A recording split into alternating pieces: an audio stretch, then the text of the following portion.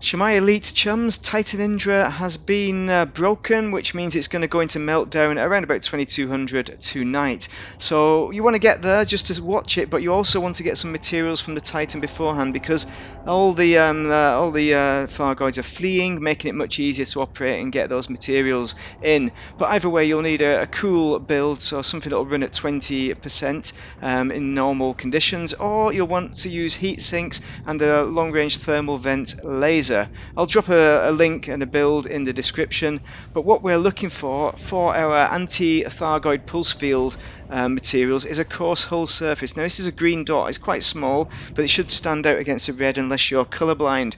Um, you just hit it with the abrasion blaster, um, and then you'll send out your um, your limpets. So have at least four limpets on any build you use. Ideally more. I've got I could have seven, but they keep or eight, but they keep dying.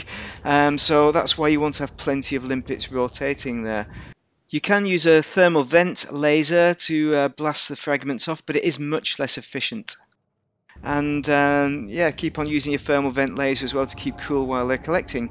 And while you're looking for the next target, which is right in front of, front of us, you can use the left-hand panel uh, if you get that up and look at targets to find the coarse hull surface, and you'll get the hardened surface fragments um, from uh, this this phenomenon.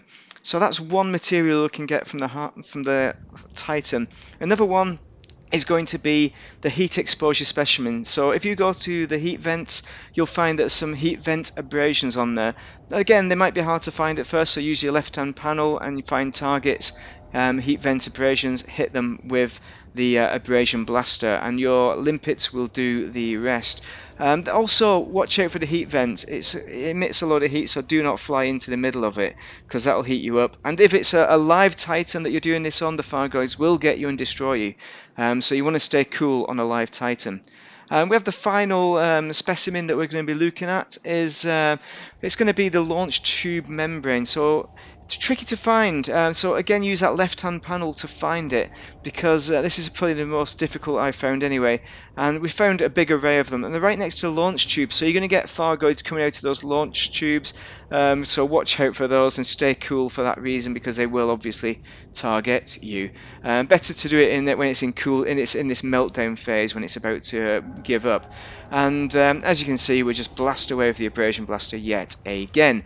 So um, once we uh, finish it should take you about, I'd, probably prepare about an hour to get enough of the coarse, um, sorry, the hardened surface fragments um, to give you the Ram Tah stuff. You'll also need the caustic crystal as well from the Titan.